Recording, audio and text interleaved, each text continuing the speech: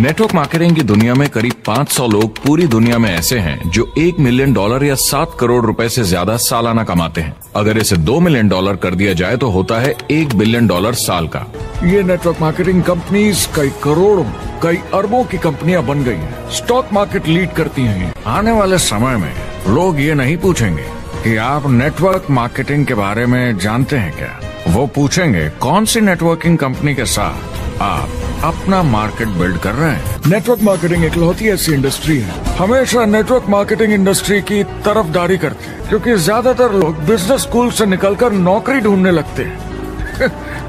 ये बेवकूफ़ी है। नेटवर्क मार्केटिंग की तारीफ़ करते हुए सुनते हैं तो ये क्लियर हो जाता है कि ये एक ज़बरदस्त इंडस्ट्री है। कंपनी प्रॉमिस कर रही है कि आप रातों रात अमीर बन जाएँगे बिना मेहनत के पैसे कमा लेंगे तो कुछ गड़बड़ है। नेटवर्क मार्केटिंग कंज्यूमर को ज़्यादा अच्छे से सिखा समझा सकती है। नेटवर्क मार्केटिंग का फ़ायदा है कि इसमें घुसना आसान है रिस्क कम है और शुरू करने का खर्चा भी कम। कम से कम इन्वेस्टमेंट में ये शुरू हो जाता है। नेटवर्क मार्केटिंग एक ऐसा बिज़नेस है जो मौका देता है आम जनता को इसमें जुड़ने का। जिस तरीके से नेटवर्क मार्केटिंग इंडस्ट्री पिछले 10, 15, 20 सालों में उभर कर आई है आजकल बाकी कंपनीज़ डायरेक्ट सेलिंग कंपनीज़ की तरफ़ देखकर सोच रही हैं कि ये कुछ तो है। एमएलएम ने सबसे ज़्यादा देशों में सबसे ज़्यादा लोगों को करोड़पति बनाया है। करीब 16 मिलियन अमेरिकन और छियानवे मिलियन यानी 9 करोड़ 60 लाख लोग पूरी दुनिया में नेटवर्क मार्केटिंग करते हैं। अगर आपके पास चॉइस है 10 साल जॉब करने की या 10 साल नेटवर्क मार्केटिंग बिज़नेस करने की तो नेटवर्क मार्केटिंग में काम करने का रिज़ल्ट बेहतर गाइस एक जॉब करने वाला पर्सन हमेशा किसी अच्छे मौके की तलाश में रहता है। बस उसे चाहिए एक सही मौका और एक सही व्यक्ति, जो उसके साथ पूरा लॉयल्टी से काम कर सके। बस फिर क्या? सब कुछ आगे बिल्कुल आसान है। जॉब करने वाले पर्सन को इनवाइट करना बहुत ही आसान है। इवन जो कुछ नहीं करते हैं उन्हें इनवाइट करना एक बार थोड़ा मुश्किल होता है। लेकिन जो पर्सन पहले से ही कुछ कर रहा होता है उन्हें इनवाइट करना बहुत ही आसान है। मैं नहीं मानता। हम यहाँ लोगों के साथ रिश्ते जोड़ना चाहते हैं दुनिया को बेहतर जगह बनाना चाहते हैं और असली सफलता होती है एक ऑन्टरप्रनोर की जब किसी को कुछ सिखाया जाए और उसे ऊपर उठते हुए देखें। इससे बड़ी कोई खुशी नहीं। सही तरीका। अब देखो यहाँ दो कैटेगरी आपको लोग मिलते हैं। सबसे पहला तो वो जो कुछ नहीं करता है। तो जो कुछ नहीं करता है उसके पास हज़ारों ऑप्शन होते हैं चॉइसेस होती है। उसे जो अच्छा लगेगा वही पकड़ेगा। क्योंकि अगर वो काम नहीं भी करेगा तब पर भी कोई दिक्कत नहीं है।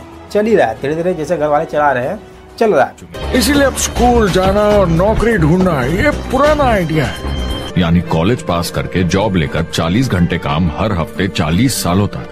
वो दिन जा चुके हैं। लेकिन जो पर्सन पहले जॉब कर रहा है उसको ऑलरेडी टेंशन है कि अगर मैं काम नहीं करूँगा तो मेरी फैमिली को भूखे सोना पड़ेगा। लेकिन उसी के साथ साथ वो सोचता है कि हमें कोई एक ऐसा प्लेटफॉर्म मिल जाए एक ऐसा सही जगह मिल जाए जहाँ से हम पार्ट टाइम में भी कुछ अर्न कर सके। हर काम को करने के बेहतर तरीके पर हम अब भी पुरानों में फंसे गाइस रिमेम्बर दैट कोई भी जॉब करने वाला पर्सन अपने जॉब से सेटिस्फाइड नहीं होता है। इवन अगर उसकी सैलरी एक लाख प्लस भी रहेगी तो भी। मैंने दोस्तों की और खुद की नौकरी जाते देखी है पगार कटते देखी है। वो लगातार दबाव में रहते हैं। तो भले ही आपका एम्प्लॉयर आपको पसंद करता हो आपको निकाल सकता है। क्योंकि अगर एक जॉब करने वाला पर्सन अपने जॉब से सेटिस्फाइड होते हैं चाहे वो प्राइवेट सेक्टर हो या फिर गवर्नमेंट सेक्टर हो तो शायद हमारे इंडिया में करप्शन होता ही नहीं। क्योंकि अक्सर आए दिन आपको देखने को मिलता होगा कि कोई भी आई एस कोई पुलिस अधिकारी हो या फिर कोई ऐसा गवर्नमेंट पर्सन जो रिश्वतखोरी में पकड़ा गया हो। वीडियो में कथित तौर पर 20 लाख रुपए घूस मांगते हुए दिख रहे।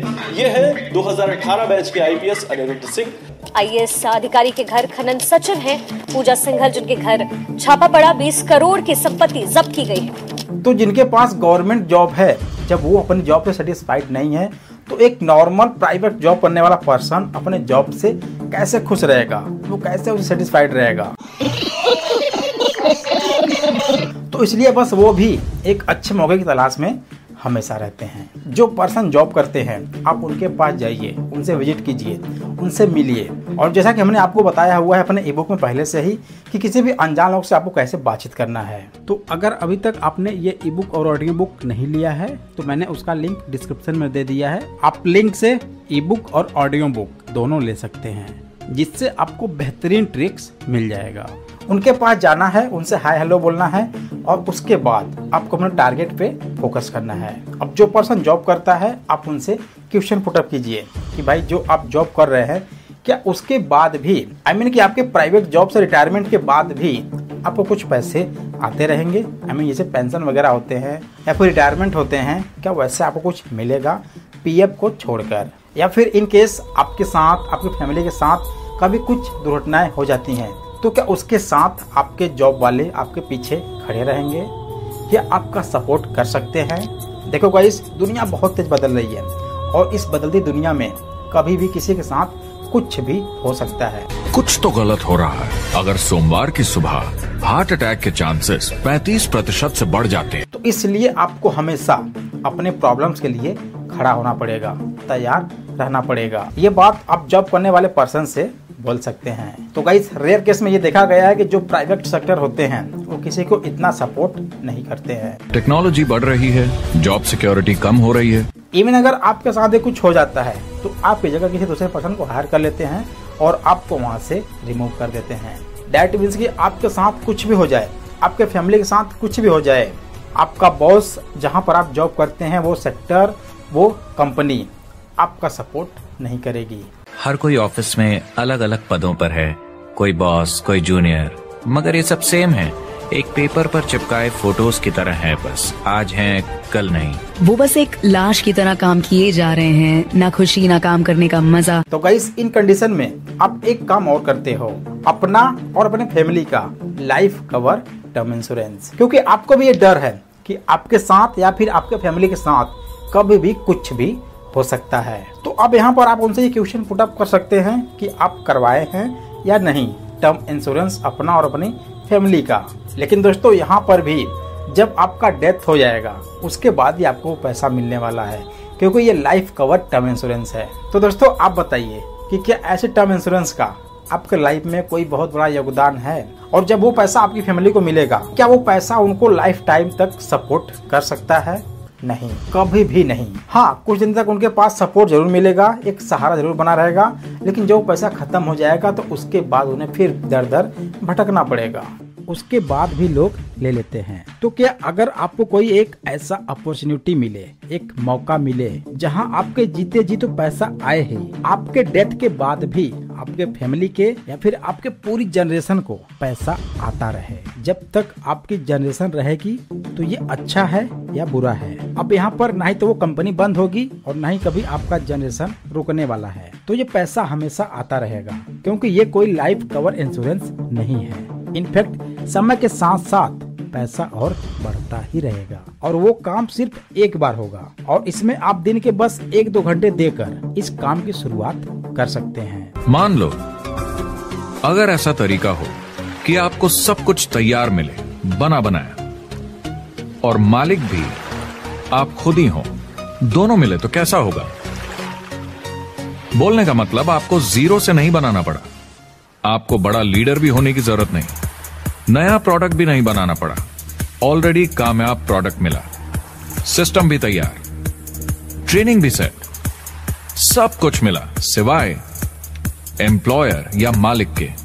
तो ये आपको कैसा रहेगा? क्या आप इसे कर सकते हैं या नहीं? क्योंकि ये बहुत ही आसान है। तो दोस्तों इस कंडीशन में वो डेफिनेटली बोलेगा हाँ जी क्यों नहीं?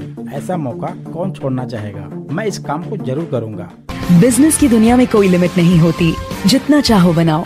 दुनिया में सबसे अच्छा बिज़नेस है आपका अपना खुद का बिज़नेस और दूसरी कंडीशन है जॉब जहाँ पर आपका सैलरी फिक्स होता है आपकी टाइमिंग फिक्स होती है आपके काम करने का टारगेट फिक्स होता है आपको कब ऑफ़िस जाना है कब ऑफ़िस से आना है वो किसी दूसरे के हाथ में होता है। सुबह नौ बजे ऑफ़िस आओ छह बजे जाओ और जैसा जैसा मैं बोलूँ वैसा करो। और आपके पास इतना भी टाइम नहीं होता कि आप अपने फ्रेंड के साथ फैमिली के साथ या फिर किसी ऐसी जगह पर आप फन कर सकें टूर कर सकें। और परमिशन लेने के लिए भी आपको साजद बहुत पापड़ बेलने पड़ जाए। और यहाँ तक कि अगर आपके फैमिली में किसी को कुछ होता है तो भी आपको वहाँ से परमिशन लेना पड़ेगा। विदाउट परमिशन आप अपने घर पर भी नहीं जा सकते हैं। नौकरी एक सुरक्षित जगह है सारी ज़िंदगी काम करते रहने के लिए। और गाइस जॉब में आप उतना ही काम करते हैं जितना कि आपके बॉस आपको वहाँ से निकाले न आपकी कंपनी आपके बॉस आपको उतना ही पेमेंट पे करते हैं उतना पेमेंट देते हैं जिससे कि आप उस कंपनी को छोड़ न पाए। आप उतना ही हार्ड वर्क करते हैं कि आपकी नौकरी न चले जाए और वो बस इतने पैसे देते हैं कि आप छोड़ के ना जाए। मैं भी अपनी ज़िंदगी में ये कर सो आई होप दोस्तों कि आपको इस वीडियो से बहुत कुछ सीखने को मिला होगा। तो अगर आप मेरा ई बुक लिए हैं तो आपको ये अच्छे से पता है कि आपको कैसे at the present time show करना है। क्योंकि मैंने इसमें वो ट्रिक दिया हुआ है जो आज तक किसी एमएलए में मिलता ही नहीं है। और यही वो कारण है कि लोग सबसे ज़बरदस्त ज्वाइनिंग ले रहे हैं। इस ई बुक का लिंक डिस्क्रिप्शन में है। आप वहाँ जाके क्लिक करके प्रोसेस को फॉलो करके इसको ले सकते हैं। वीडियो अच्छा लगा हो लाइक कर दें। चैनल पहली बार चैनल को सब्सक्राइब करके बेल आइकन पर ज़रूर कर दें, क्योंकि हम आपके लिए ऐसे बेहतरीन वीडियो लाते रहते हैं। फिर मिलते हैं किसी ऐसे इंटरेस्टिंग वीडियो के साथ। तब तक के लिए thanks for watching wish you all the best बनो अपने खुद के बॉस